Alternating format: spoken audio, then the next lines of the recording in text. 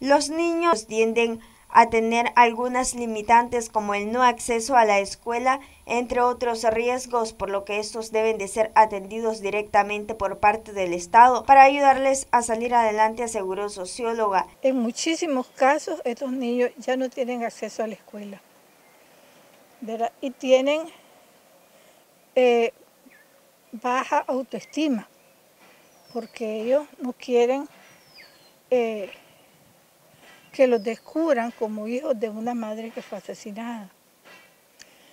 Y cuarto, eh, su desarrollo en la adolescencia está en altísimo riesgo, más alto que cualquier otro, otro grupo de infantes o de jóvenes.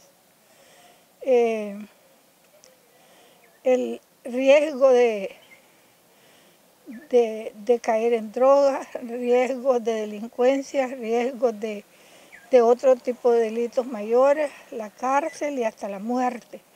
Las niñas, el alto riesgo de caer en, de, caer en embarazos en adolescentes y, eh, de sufrir también eh, eh, como herencia del trauma de su mamá una situación de violencia. Eh, eh, familiar. Chow expresó que la principal atención se debe iniciar por la psicológica. Entonces esto es una tragedia que eh, no puede ser atendida por grupos, ya sea del barrio, de grupos religiosos, grupos de caridad, esta es una tarea directamente eh,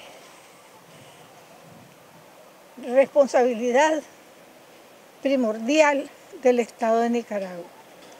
Por eso hay instituciones que sobreviven, no sabemos qué es lo que están haciendo realmente, como el Ministerio de Bienestar Social, el Ministerio de Salud, el Ministerio de Educación, eh, etcétera qué seguimiento da, cómo tiene planificado atender los casos de niños huérfanos porque su madre fue asesinada.